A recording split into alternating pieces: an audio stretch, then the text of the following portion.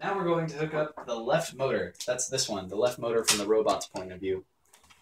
You can use, uh, for this, we will need the partially assembled robot um, and these wires here. They are all male-male. You'll need two short black ones, the long black one, uh, and then the long blue, white, and orange. And, oh yeah, also this short red one here.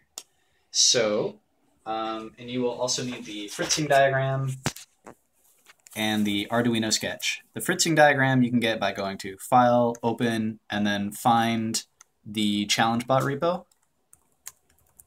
Uh, and then inside of the ChallengeBot repo, go to Build Stages, and then D left motor, and then left motor.fzz, and that's this diagram here.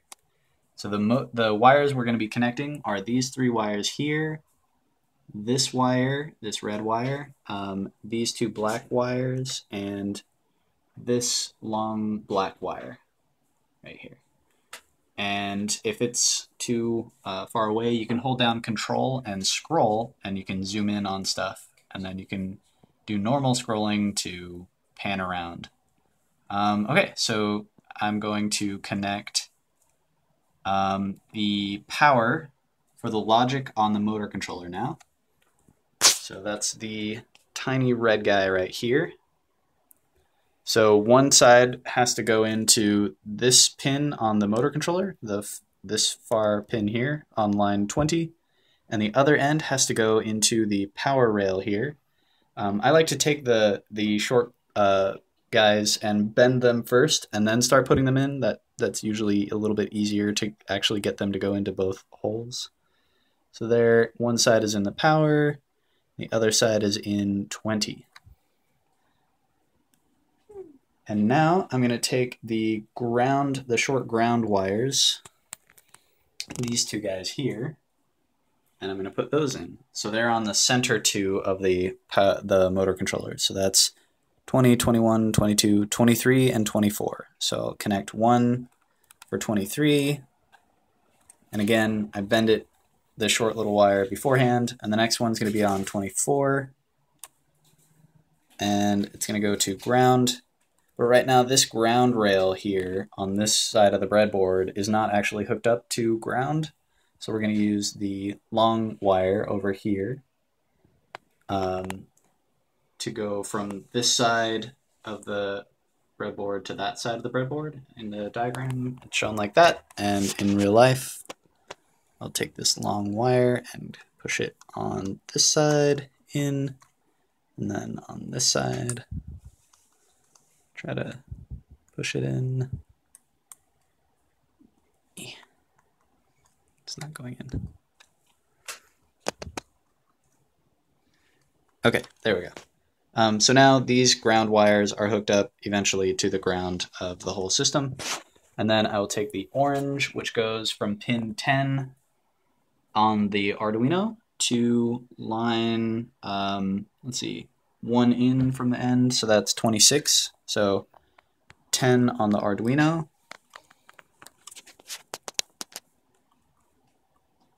To 26 on the side of the motor controller that's um, closer to uh, me.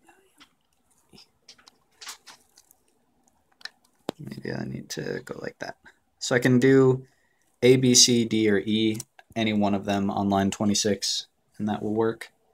Um, so now I'm going to take the blue one, and that goes in 9, right next to 10, and on the Arduino side. And then on this side, it goes on line 21.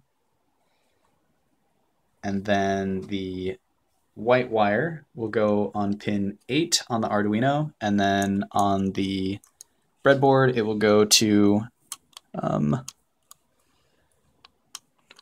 line 20 on the side closest to the back of the the robot. So this goes right next to the blue over here. This goes right next to the blue on line 20. And by right next to, I mean on the line next to the blue. It's not actually right next to it. Um, so now we'll take the wires from the underside of the robot Uh, and you can prop the robot up like this on the caster so that when this starts spinning, uh, the robot won't get away from you. So I'm going to take these two lines and shove them up through this hole right here. And I'm going to pull on this, this side and push at the same time to get it to come all the way through. And then once it's all the way through, I'll hook it up as shown here. The yellow will go to line 22, and the green will go to line 25. So here, the yellow is in 22 there, and the green is going to go in 25. Okay, and now I'm going to prop it up like this and attach the USB cable. And then I'll bring up the Arduino IDE. And uh, I'm in left motor already, but if you're not, you can go to Sketchbook, D left motor, and you'll get this code. And then I'll hit the upload button, and it'll either just work. Okay, it's done. Uh, or it would bring up a thing, and I would have to select the serial monitor or the serial port that it's actually on. So now that it's uploaded, I will. Um, the wheel is not moving yet. I have to turn the switch on, and hopefully it'll move. Oh no! Uh, that battery's not connected, is it? Oh, the battery's not connected. Ha! Good one. Okay, so the battery is also in the fritzing diagram. Let's refer to that. So that goes to pin 27. The positive side of that goes to pin 27. So I'm going to unplug the USB plug this into pin 27 and the other side of the battery into ground. Um, so that's right there in the diagram. So this one's actually there in the diagram. Okay, so now I will hook up the Arduino to the USB and I'll turn it on. The program's already loaded. Oh, there it goes. So that is moving. Yay! Yay!